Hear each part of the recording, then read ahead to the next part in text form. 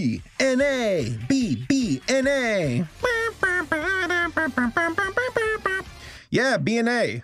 Big nasty as I was saying, we're talking about the newest show from Studio Trigger, BNA, brand new animal. So this show has been out for a while, I think a few months on Japanese Netflix. It just recently arrived here on American Netflix, and I watched it and I have some thoughts about it.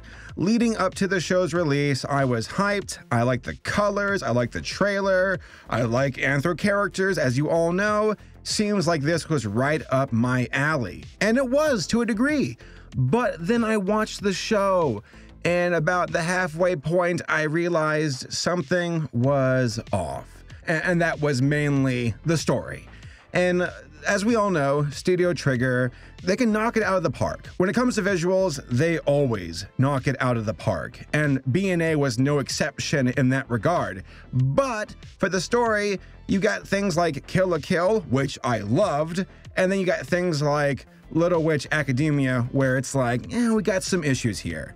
BNA falls more into the Little Witch Academia section where there are issues. So, without revealing spoilers, uh, the synopsis being this is a world where there are beastmen, and they've always lived alongside humanity. But humanity evolved in the sense of like becoming more the dominant species on Earth. Beastmen were rejected. Beastmen are people who can like take on animal forms and also transform back to a human form. So it's like, oh, um, humans can't transform at all but then the beastmen can be like here's my human side and then here i'm transforming into a bear now like an anthropomorphic bear man. So we fast forward to like it's nowadays well nowadays a modern setting where the beastmen have their own city called like new anima or something like that. Uh, you've got our main character. I'm gonna say her name wrong because i suck Mirichu, uh, Mirichu, I'm so sorry, I really am trying. Mirichu, who is a raccoon girl. There's another word for it, but I it escapes me. But thing is, she's a human who became a beastman. And also her beastman abilities allow her to like transform her body, where she can like grow super strong, grow long arms, grow fast legs like a cheetah, grow bird wings. She's like an experiment social freak of nature.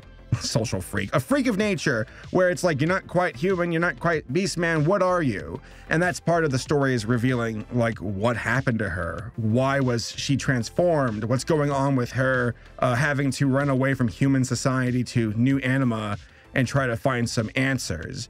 And we also learn about how this is a world where the humans don't really coexist well with the beastmen. That new anima is more of an experiment to see if these beastmen can live in a city without having any issues uh, alongside not alongside humans but like outside of human culture and cities. There's a lot to unpack. There's a lot to the setting. There's a lot to the characters and stories. But again our main character is Mirichu and we follow her trying to find answers of how to transform back to human because she wants to be human. We meet other main characters like Silverwolf, how he's like the guardian of the city. Uh, we discover about like the animal culture where you've got like might makes right in this city. They even say that at the start, like the bigger and stronger you are, that puts you more in charge. Again, I don't want to get into spoilers. Uh, that's the main synopsis. We meet other characters along the way as the plot grows, and we discover like that there's some heinous things going on. There's a bit of a mystery, a slow burn mystery that we're introduced to in the first episode, and we grow with it and dive more into like the the when, the how, the who, the what behind it all. I like that. I like the mystery they set up of trying to get answers. And you also scratch your chin thinking well who who done it? Who are the bad guys here? There has to be somebody who's pulling the strings and causing these issues in in new anima city. And in that regard, the first half of the season, because this is only one season, 12 episodes, I enjoyed it. My favorite episode was basically a slice of life episode where uh, Mirichu goes, I'm certain I'm saying her name wrong. I'm sorry. But she joins a baseball team and helps them go to the World Series or whatever, become not the World Series, but the championship league in the city of New Anima. That was interesting. I enjoyed that. I wish it would have been like two episodes because I think that story moved very quickly. That's a big issue, issue, gripe I have with the entire series. It moves so quickly, and the themes and the arcs they set up where it's things like humans and their discrimination against beastmen or discrimination for beastmen within their own city. Just the way they set things up and you expect them to knock it down didn't really go the way i expected. I was like for example again Merichu is a freak of nature. She's a hybrid. And I thought the story would be more about her and her relationship with her friend, who also has the same issue with these being experimented on and becoming human to beast man, weird super creature. But it's like, no, we're not really talking about that. Like, it's part of the story, but the main story isn't their relationship as much as like these monsters living in Beastmen freaking out. It's kind of borderline Zootopia with going savage, but it wasn't what I expected, and they went in a different direction that wasn't as satisfying.